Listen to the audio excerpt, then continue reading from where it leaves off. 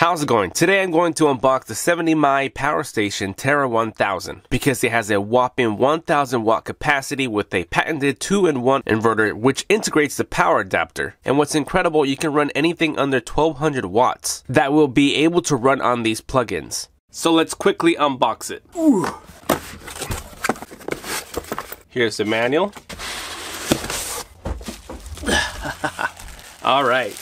Whew both hands can fit on there to lift it out. This is the top and it's the handle and it's rubber. So it's a nice little rubber grip to it. Pretty big unit here and it is heavy like I was saying. You see here there's a big ventilation and a fan for when you got a lot of peak power to go through and it is metal.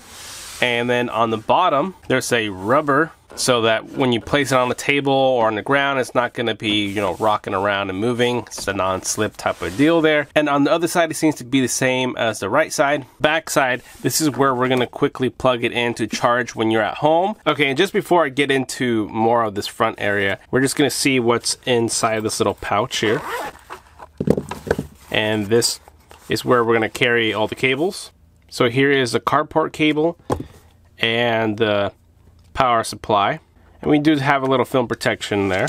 On the bottom section here, we have three household plugins, and this is going to turn on the AC. So this does run on different sections. You just got to click them on, and there'll be a light indicator there. So anything under 1,200 watts will be able to run on these plugins. And this section right here with two inputs is for the solar panels you got around, and a second type of cable connection that comes included with the solar panel purchase. So we have a regular USB-A, a USB-A quick charge, and we have Type C and Type C, so you can see 18 watt and 60 watts. We have a 12 volt and another 12 volt, and then on this side, gadgets that need to use a car charger. So these little windows on the side are actually little LEDs for lights, and in the middle is all the display settings, volts and watts, and what's plugged in and how it's running. It's a TFT screen to display everything. We're gonna click on power.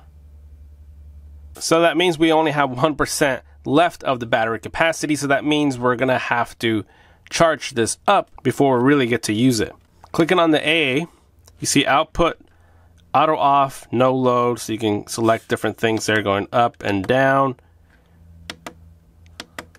And then check mark. Clicking on this, here we have the flashlight. Little flashlights on the side.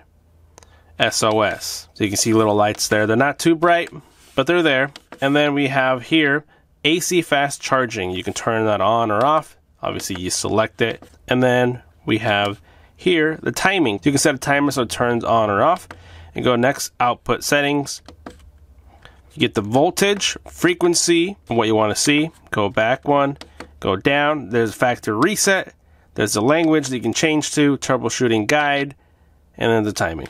So very simple, not a lot of complications to use this. It is going to be a emergency situation if your power ever goes out or situations like going camping, going to an event that you can't plug into an outlet, your camera equipment, run studio lights, run your fans to keep you cool, even run a heater on this if you have to. Anyway, let's just turn this off, press and hold.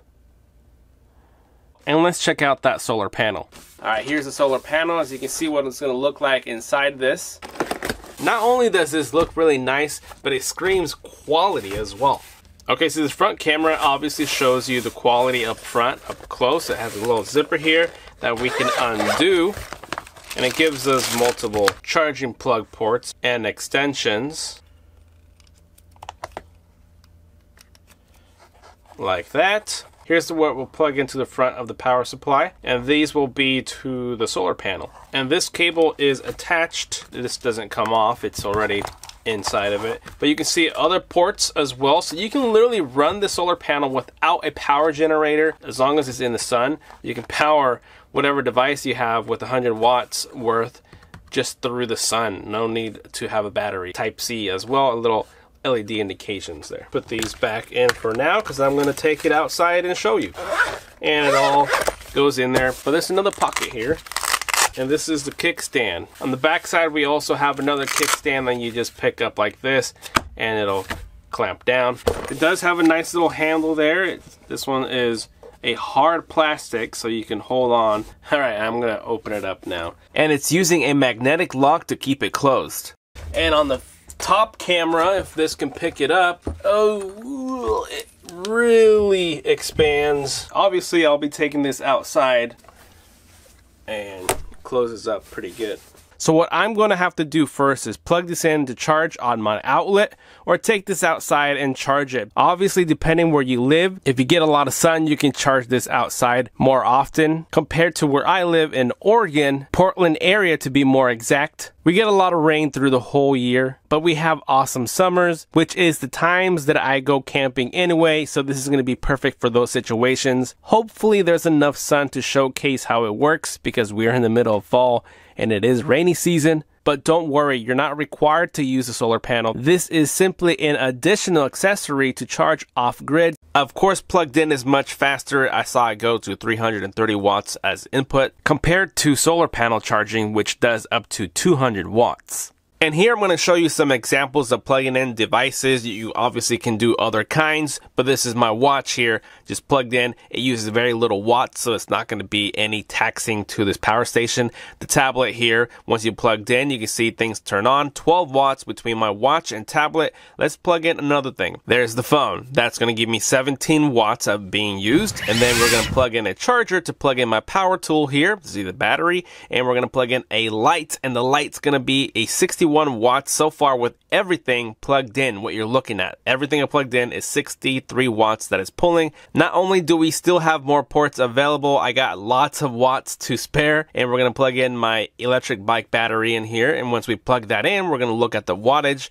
Just under 80 watts for all this on the table that's plugged in. So you can only imagine you got around 900 watts to spare. Here's a 500 watt tool that's going to be a paint sprayer. I can plug it in and you can see once it's running 520 watts and it'll give me 56 minutes remaining with how I'm running with the paint sprayer and everything else plugged in there of how long it will last. Also, the Tera has a galvanized steel inner body which is a much stronger design than the others that use aluminum alloy. So that's what gives the Tera its weight, its higher durability, and better drop proof performance. Anyway, only you can think of a what situation you can use these power stations for. So yeah, if you want one for yourself, you already know what to do. Find it all in the description down below. And as always, thank you for watching, and I will see you guys next time.